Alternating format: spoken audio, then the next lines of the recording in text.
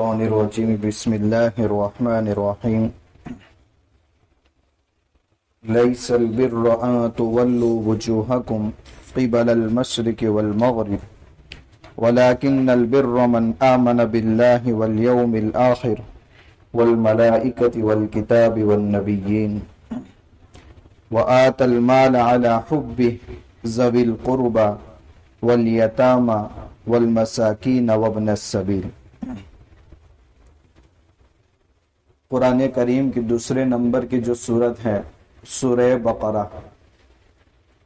सुर बकरा करीबन ढाई पारे पर मुश्तमिल सूरत है। सवा पारे का दरस कुरान मुकम्मल हो चुका है और सवा पारा अभी बाकी है। पहला जो आधा हिस्सा सुर बकरा का मुकम्मल हुआ है, उसमें खिताब उम्मत दावत को है। अल्लाह के नबी सल्लल्लाहु अलैहि वसल्लम की उम्मत की दो किस्में हैं। एक उम्मत दावत और एक उम्मत इजाबत। उम्मत दावत ऐसी उम्मत को कहा जाता है, जिन्होंने अल्लाह के नबी सल्लल्लाहु अलैहि वसल्लम की नबूवत को कबूल नहीं किया। आपकी रिसालत को वो तस्लीम नहीं करते। ऐसे लोगों को सूर्य बकरा के शुरू के आधे हिस्से में खिताब किया गया है। और माँ बकिया आधे हिस्से में जिसका सिलसिला यहाँ से शुरू हो रहा है, उसमें उम्मत इजाबत को खिताब किया गया, जिन्होंने अल्लाह के नबी सल्लल्लाहु अलैहि वसल्लम की बात को माना है, आपकी नबूवत और रिसालत को तस्लीम किया है। ये पहली आयत है, जिसका तर्जमा यह है, कामिल ने नेकी बस यही नहीं है कि तुम अपने चेहरों को मशरक और मगरिब की तरफ़ कर लो। लेकिन कमाल नेकी की बात यह है कि जो अल्लाह पर ईमान लाए, आखिरत के दिन पर ईमान लाए, फरिश्तों पर ईमान लाए, तमाम आसमानी किताबों पर ईमान लाए और तमाम अंबिया पर ईमान लाए और माल को उसके महबूब होने के बावजूद खर्च करे अपने करीबी रिश्तेदारों पर, यतीमों पर, गरीबों पर, मुसाफिरों पर सवाल करने वालों पर और लोगों की गर्दनें छुड़ाने में, यानी कैदियों को आज़ाद कराने में। और नमाजों का अहतमाम करें, जक़ात अदा करें, जो वादे उसने कर रखे हैं उनको पूरा करने वाले हों। और सब्र करने वाले हों माली तंगी के वक्त, बदनी तकलीफ़ के वक्त, और जंग के मैदान में दुश्मनों के मुकाबले के वक्त। उला इकल्लदीन सदकू। जिनके अंदर ये बातें पाई जाती हैं यह हकीकत में यही लोग सच्चे हैं। वह उलाई उलाइकहुमुल मुत्तकून, और यही लोग मुत्तकी हैं। एक पूरी आयत है, इसका तर्जमा आपके सामने आया है। पुराने करीम की एक आयत है, सुरह कहफ के आखिर में दुनिया, वहुम यहसबून अन्नहुम युहसिनून सुनआ कल कयामत के दिन दुनिया के अंदर बहुत से लोगों ने बड़ी कोशिशें की होगी, मगर वो अमल दुनिया के अंदर ही गारद हो जाएँगे। और वो कोशिशों के बावजूद ये समझ रहे होंगे कि हम अच्छे काम कर रहे पहले किताब को ये इस बात पर इनको ये गमंड था, यहूदो नसारा। अहले किताब यहूदो नसारा को कहा जाता है। तो यहूद को इस बात का घमंड था कि हम नेक लोगों में शामिल हैं। इसलिए कि हम बैतुल मकदिस की मगरिबी जानी कुब्बत की तरफ़ रुख करते हैं, उसको किबला बनाते हैं।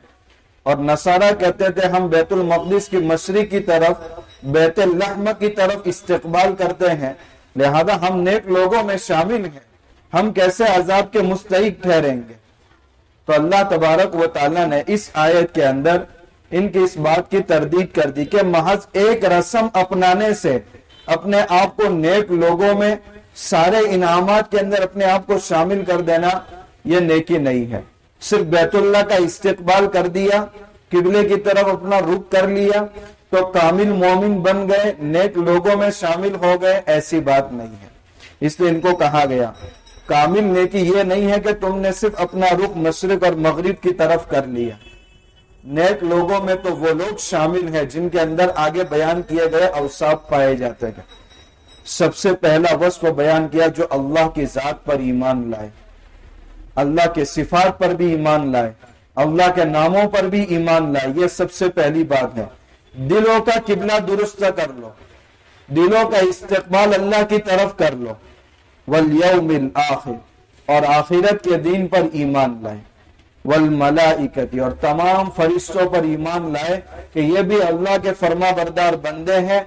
अल्लाह ने इनको नूर से पैदा किया है, खाने पीने की इनको कोई ज़रूरत नहीं है, और रत्ती बराबर अल्लाह के हुक्म के खिलाफ नहीं करते। वल किताब, और तमाम आसमानी किताबों पर ईमान लाए। वन नबीन और तमाम अंबिया, जो अल्लाह की तरफ़ से अपने बंदों पर पैगाम पहुँचाने पर मुकर्र किए गए थे, उन तमाम अंबिया पर ईमान लाए। एक हाल इस इस बंदे का है कि जो इन सब बातों को तस्लीम करता है, उसके एतकादात और अकाइद दुरुस्त है। और एक तरफ़ अहले किताब का हाल है। एक बंदा अल्लाह पर ईमान लाता है और एक तरफ़ अहले किताब अल्लाह पर कैसा ईमान ला रहे खुद अहले किताब में एक ग्रुप कह रहा है, हज़रत उजैर सलाम नवजुबिल्ला अल्लाह के बेटे हैं। ईसाई कह रहे हैं, ईसा सलाम अल्लाह के बेटे हैं। ये अल्लाह पर तुम्हारा ईमान है।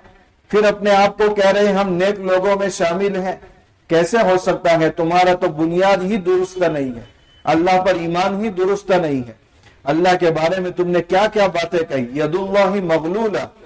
अल्लाह का हाथ बंदा हुआ है। अल्लाह लोगों से नवजुबिल्ला कह रहे तुम मेरी राह में खर्च करो। इन फकीर। अल्लाह मोहताज है वनहनिया और हम मालदार हैं कि हमसे माल का मुतालबा किया जा रहा है। कबूर कलीमत तखरुजमिन अफवाह। तुम्हारे मुँह से किसी कैसी भारी बातें अल्लाह के मुतालिक निकल रही, और तुम अपने आप को नेक लोगों में शामिल कर रहे हैं।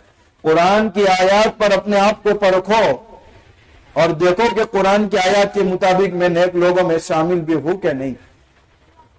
अल्लाह के मुतालिक तुम्हारा अकीदा क्या है? आखिर। दूसरी बात अल्लाह ताला ने अतिकादात के मुतालिक बताई कि आखिरत पर ईमान लाए। तुम्हारा आखिरत के दिन के बारे में क्या कहना है? जन्नत तुमने तो जन्नत को बाप की जागीर बना रखा है। यहूदी कह रहे सिर्फ़ यहूदी जन्नत में जाएँगे। नसारा कह रहे नसारा जन्नत में जाएँगे। कभी कह रहे हैं, वकौल लन तमसन नारू अय्या मादूदा। कभी हमें जहन्नम में जाना पड़ा तो सिर्फ़ मादूद चंद दिन, इसके बाद जन्नत में ही जाना है। तो आखिरत के ताल्लुक से तुम्हारा यकीन कैसा है? क्या कुरान की कसौटी पर परखने के बाद तुम्हारे एतकाद दुरुस्त हैं?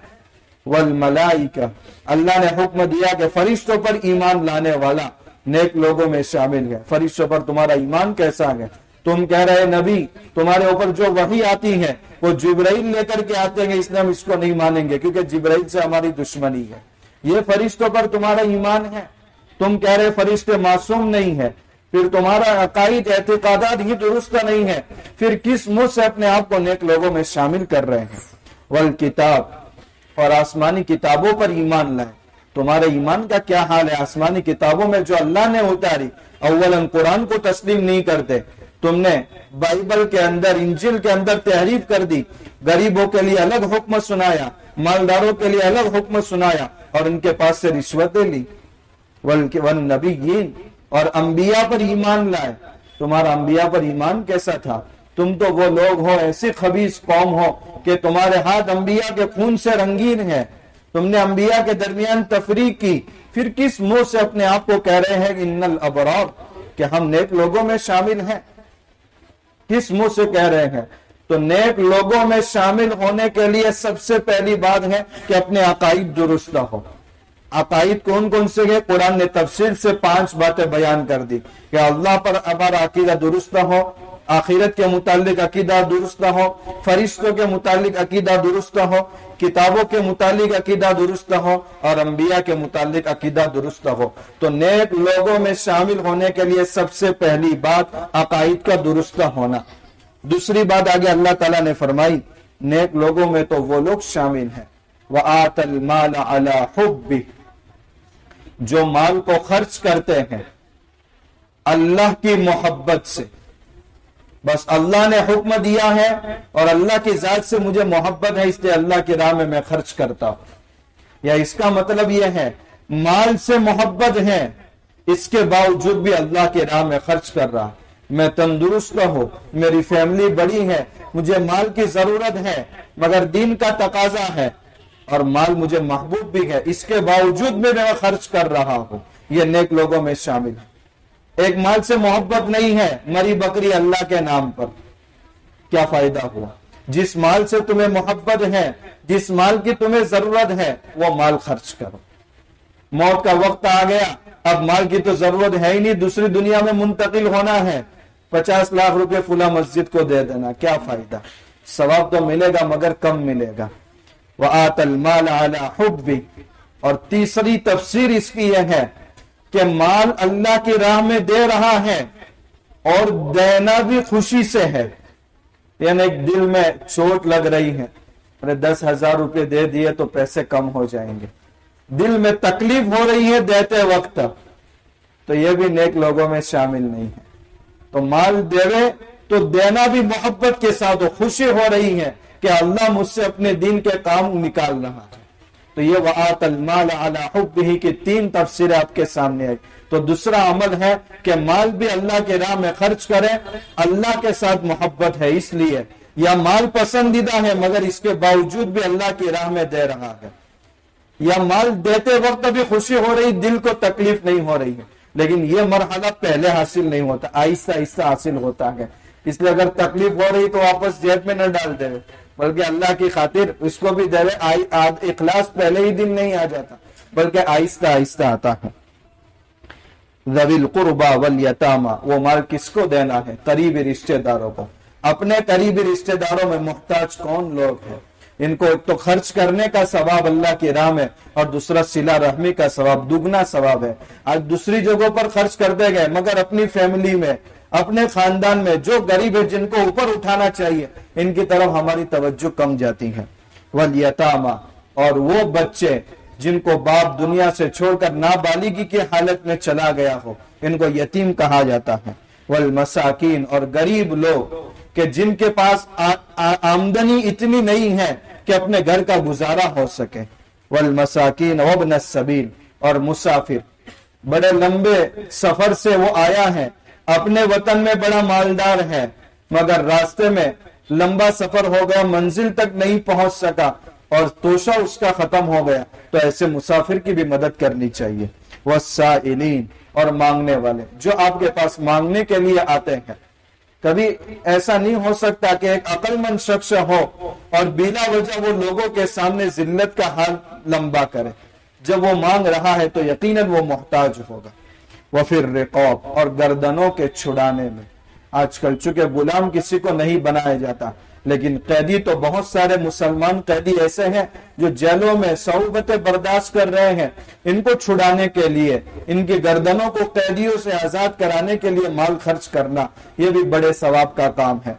एक शख्स की गर्दन कर्ज के बोझ तले दब गई है। उसके कर्जे का इंतज़ाम करना और उसकी गर्दन को आज़ाद करना यह भी नेक काम है। तो मालूम हुआ जक़ात के अलावा बहुत सारे महल ऐसे हैं जहाँ खर्च करना भी फ़र्ज़ है। यह महल मैंने बताया आपको। वह अकौम यह दूसरा काम पूरा हुआ। तीसरा काम है नमाजों का अहतमाम वह आत जका और जक़ात की मुकम्मल अदायगी। वलमोफून अहदिम इदा आहदो। जो वादे तुमने अल्लाह से कर रखे हैं, जो वादे ईमान और रिसालत कबूल करने के बाद अल्लाह के रसूल से कर रखे हैं जो वादे तुमने लोगों से कर रखे हैं, वो वादे पूरे करने वाले भी नेक लोगों में शामिल हैं। अल्लाह से आलम बरसत में वादा किया है। अलस्तु बेरबिकुम कौलू बला, बेशक तू ही हमारा रब है और तुझे ही रब मान करके ज़िंदगी गुजारेंगे। उसी वादे को अंबिया ने याद दिलाया। उसी वादे को कुरान ने याद दिलाया गया इसलिए कोई ये न कहे कि आलम बरसत में किसको पता था कि अल्लाह से हम वादा कर रहे हैं। ये कुरान इसकी याद दिहानी के लिए है। अंबिया इसकी याद दिहानी के लिए है। तो अल्लाह से जो तुमने वादे कर रखे थे, उन वादों को पूरा करो। अल्लाह के रसूल से जो वादे कर रखे, इनको पूरा करो। लोगों के साथ मामला कर रहे हैं और उसके अंदर वादा कर रहे हैं तो वो वादा भी पूरा करो। एक वादा जब दो इंसानों के दरमियान होता है तो सामने वाला वादा कर रहा है, मगर उसकी नीयत यह है कि मुझे पूरा नहीं करना।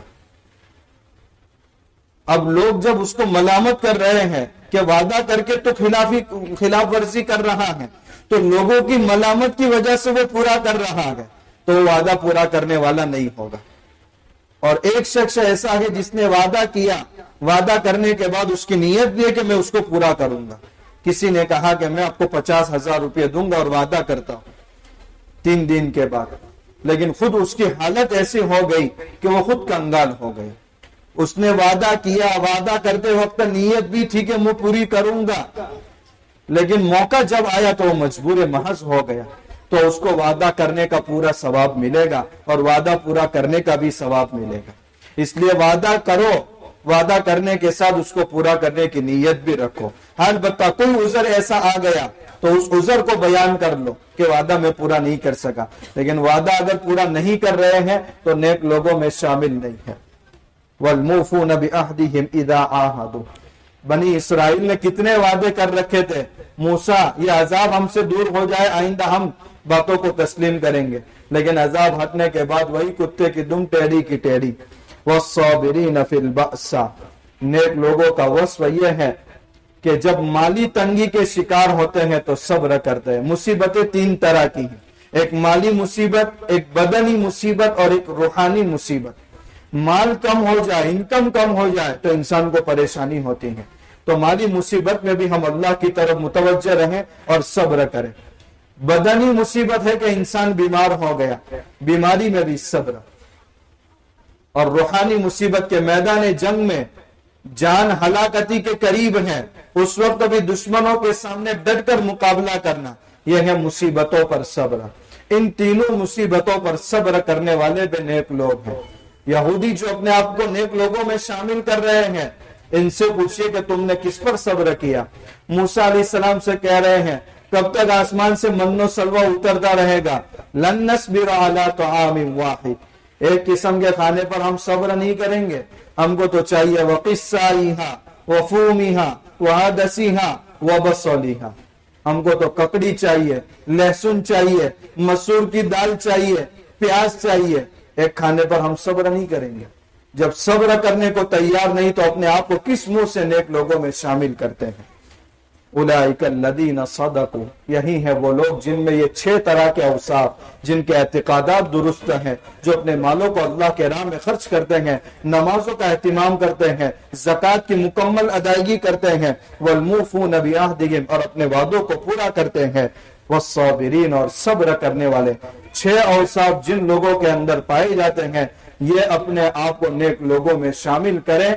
यही लोग सच्चे हैं, यही लोग मुत्तकी हैं। इन नल अबरार लफी नाई और नेक लोग जन्नत में होंगे।